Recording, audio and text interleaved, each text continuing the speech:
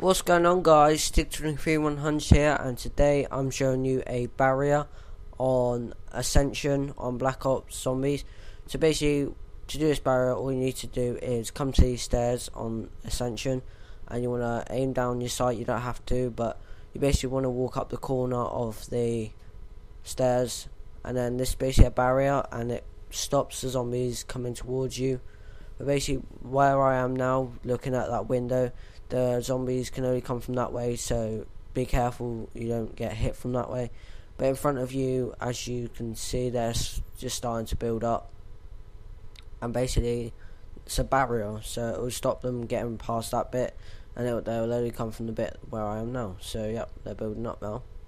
So yeah, I'm not quite sure who this glitch was found by, but it's pretty cool barrier glitch. And unfortunately, at the end I do die, but this isn't due to the glitch It's due to me not looking at what I was doing. a bit stupid, but yeah, so it's got nothing to do with the glitch. Uh, I really recommend you trying this if you haven't done it already because it's a really good glitch. So please comment, rate, subscribe, and have a nice day. Thank you and goodbye.